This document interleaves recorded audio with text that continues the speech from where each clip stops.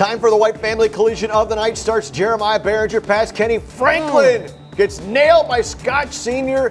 Jazarian Shoulders. Shoulders levitation. The name is appropriate. That's a Bruce Lee hit. That just came out of nowhere. That's energy being transformed. That is the White Family Collision of the Night.